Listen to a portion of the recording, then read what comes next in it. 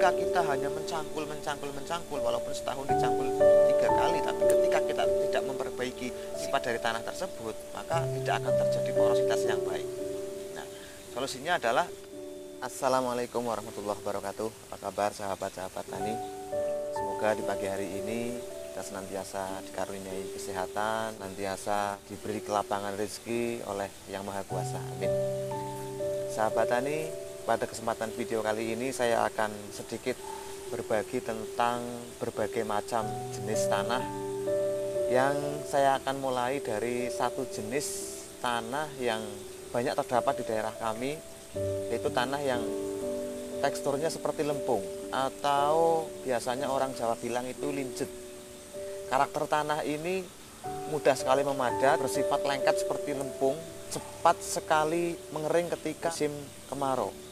Jadi kemarau sebentar, tanah ini sudah sangat kering sekali. Namun ketika di musim penghujan, mudah sekali berlumpur.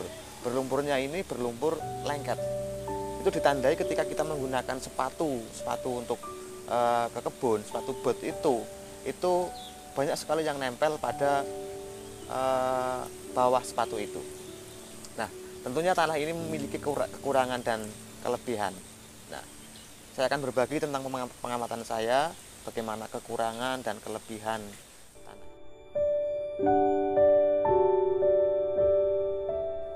tani. Adapun kekurangan daripada tanah jenis ini yaitu sedikitnya kadar asam organis pada jenis tanah ini. Dikarenakan sifat padatnya menjadikan kurang ideal untuk berkembang biak mikroorganisme. Sehingga proses dekomposisi alami pada tanah jenis ini itu akan kurang maksimal. Karena pada dasarnya mikroorganisme itu menyukai tekstur tanah yang poros, gembur sehingga mempermudah untuk berkembang biak mikroorganisme tersebut yang pada akhirnya proses dekomposisi pada lahan tersebut akan menjadi maksimal. Kelemahan yang kedua, perubahan pH-nya sangat drastis sekali.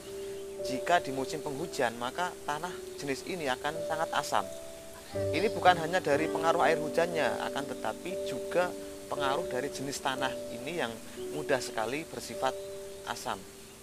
Sehingga ada, harus ada perlakuan khusus agar tanah ini memiliki pH yang stabil.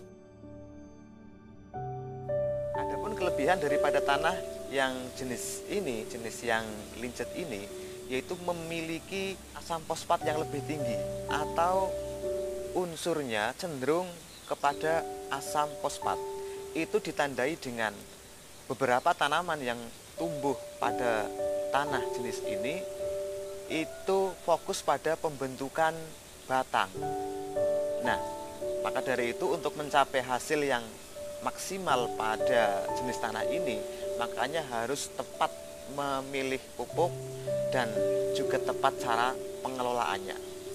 Nah, lahan tanah yang berjenis seperti ini bukan berarti buruk, akan tetapi perlu penanganan, perawatan, pemilihan pupuk yang yang sesuai sehingga ketika kita memilih pupuk yang sesuai, penanganan yang sesuai, justru lahan seperti ini akan menjadi lahan yang sangat bagus sekali. Dan pada tanaman yang tumbuh pada tanah jenis ini biasanya berbuahnya itu lambat dikarenakan pada sistem hormonal tanaman tersebut tidak normal. Artinya yang seharusnya ketiga hormon antara auksin, Berlin dan sitokinin itu sama-sama bekerja akan tetapi pada tanah yang berjenis ini itu cenderung memicu hormon auksin sehingga tumbuhan fokus pada fase vegetatif. Nah, tentunya ada beberapa solusi ketika kita memiliki tanah yang jenis seperti ini. Solusinya adalah yang pertama memperbanyak karbon organik yang sudah terdekomposisi karena mikroorganisme di dalam tanah yang jenis ini itu kehidupannya kurang ideal sebagaimana pada tanah yang gembur. Sehingga ketika kita memberikan kompos yang masih mentah, maka proses dekomposisinya akan memakan waktu yang lama. Sementara kita petani itu menginginkan produksi yang lebih cepat. Nah, untuk memaksimalkan lahan yang seperti ini sebaiknya melakukan pemupukan dengan kompos yang sudah difermentasi.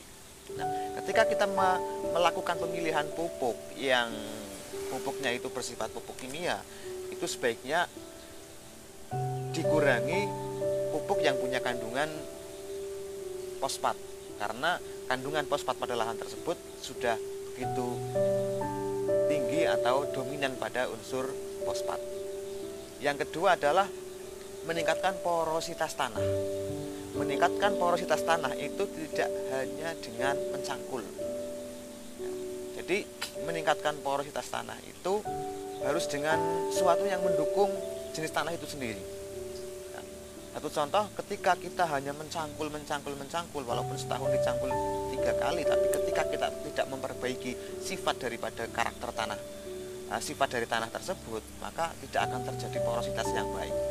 Nah, solusinya adalah menambahkan arang sekam pada tanah yang jenis ini untuk menciptakan porositas yang tinggi selain selain mengolah lahan. Yang ketiga mengidealkan pH. Mengidealkan pH sebagaimana yang saya jelaskan pada video sebelumnya, yaitu pada tanah jenis ini untuk menstabilkan pH tidak disarankan dengan menggunakan kapur dolomit. Karena tanah jenis ini ketika terkena zat kapur yang tinggi, maka yang terjadi adalah tambah padat atau menambah pemadatan tanah tersebut. Dan sambil kita meningkatkan porositas menggunakan arang sekam, itu juga arang sekam berfungsi menstabilkan pH pada lahan ini. Nah, sahabatku sekalian, lahan yang seperti ini bukan berarti lahan uh, tanah yang buruk, akan tetapi punya punya karakter dan perlakuan yang berbeda. Masing-masing tanah tentunya punya karakter dan perlakuan yang berbeda. Oleh karena itu, saya sebagai seorang petani senantiasa memahami untuk mendapatkan sebuah hasil yang maksimal diawali dari memahami karakter tanah itu. Oke sahabat tani cukup sekian kita sambung pada video berikutnya tentang jenis tanah atau karakter tanah yang lain. Sekian saya akhiri. Assalamualaikum warahmatullahi wabarakatuh.